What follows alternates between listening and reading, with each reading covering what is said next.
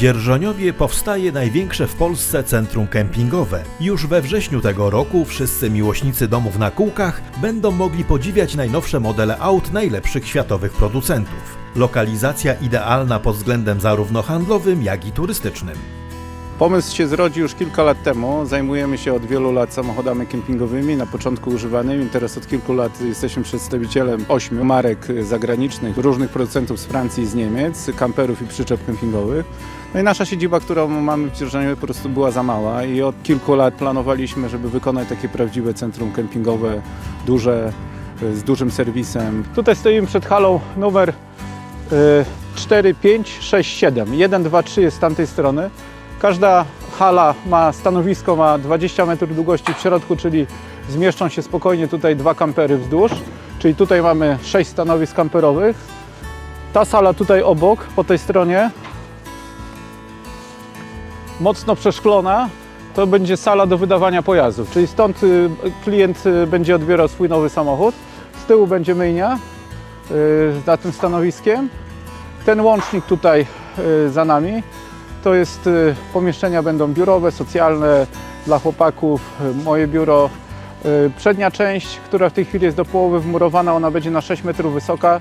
W środku będzie antresola, to będzie sala obsługi klientów, sklep z akcesoriami kempingowymi. Przede wszystkim co roku przybywa dużo samochodów kempingowych. W zeszłym roku sprzedano nowych aut 2,5 tysiąca, a używanych około 4 tysięcy, czyli to jest 6 tysięcy rocznie. Czyli za 10 lat, jeżeli ta tendencja się utrzyma, to no, tych kempingów będzie na tyle dużo, że trzeba będzie gdzieś się obsługiwać. I u nas na dzień dzisiejszy w starej firmie mamy 7 stanowisk serwisowych i czas oczekiwania na serwis jest około 2 miesięcy, także jest to taka sytuacja to troszeczkę niedopuszczalna. Stąd y, była konieczność wybudowania dużego serwisu. Za nami ten budynek, który powstaje, za miesiąc będziemy kładli już dach.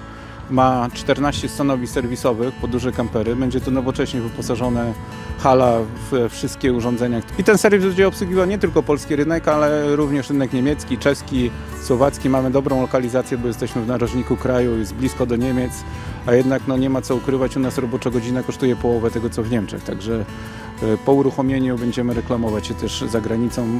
W tej chwili też już obsługujemy dość dużo klientów e, zagranicznych. Prócz serwisu, co tu jeszcze planujesz? Z tyłu za nami, za budynkiem, z widokiem na górę będzie takie pole kempingowe, to może zbyt wielkie słowa, to jest bardziej taki camper park e, na około 10-12 stanowisk, zobaczymy ile nam wyjdzie, odgrodzone będą żywopłotem. Klient na przykład, który przyjedzie na jakieś montaże wyposażenia dodatkowego, będzie mógł sobie u nas zostać na tym camper parku. Jest dostępna z zewnątrz w naszym budynku toaleta do tego camperparku, natryski i tak dalej, czyli całe zaplecze sanitarne. Będą miejsca do zrzutu wody, podobnie jak mamy w Kutnie. W naszym drugim oddziale będą przyłącza do prądu, kanalizacja i tak dalej. I będzie klient mógł sobie pojechać, na przykład zostawić rano kampera na serwis, pojechać sobie rowerem w góry. Mamy piękne okolice, Będą auta zastępcze, także jak będzie chciał sobie pojechać pozwiedzać samochodem, jak będzie gorsza pogoda, to wtedy samochodem. Po południu, jak już serwis będzie skończony, ale na przykład prace będą trwały kolejne dni, to będzie mógł nocować w swoim kamperze, rano znowu odstawia na serwis, znowu sobie zwiedza, a my robimy robotę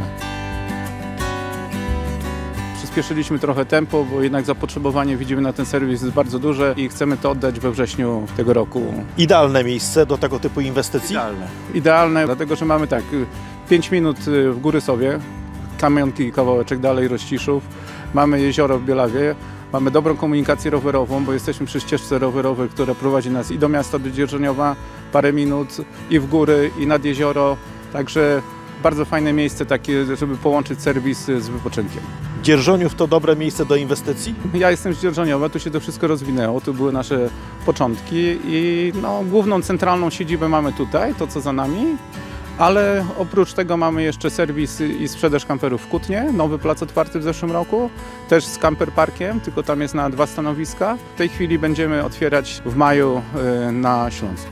Wspomniałeś tutaj o tym, że dwa razy więcej pracowników będzie musiało u Ciebie pracować. Czy nasi widzowie mogą już aplikować się mogą, do Ciebie o pracę? Tak, jest y, strona kempingowa, wpisać sobie w wyszukiwarce mCamp.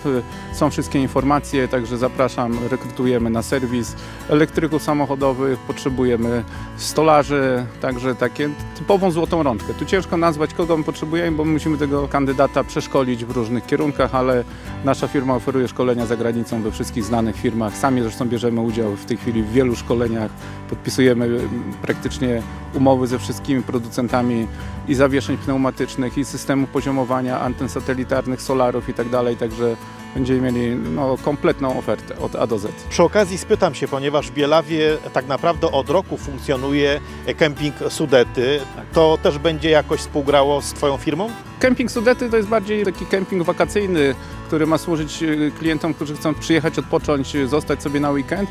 U nas bardziej ten kemping to jest taki camper park, który będzie stricte związany z serwisem. E, myślę, że te oferty się uzupełnią. Forteca, właśnie Bielawa. Dużo klientów się pyta właśnie, że chce przyjechać kamperem i chce zostać na noc i takie miejsca właśnie do nocowania dla e, klientów serwisu są bardzo istotne. Przygotowałem się do tej inwestycji bardzo długo. Jeżdżę za granicą, obserwowałem różne serwisy w Szwajcarii, w Niemczech, w Austrii, we Francji, także to jest kwintesencja no, kilku lat obserwacji, wyciągania wniosków, y, doświadczenia itd. Tak Ten projekt powstawał w głowie już y, kilka lat temu. Nie? Nareszcie się realizuje. Trzymamy kciuki za terminowe oddanie inwestycji i już teraz czekamy na uroczyste otwarcie centrum kempingowego.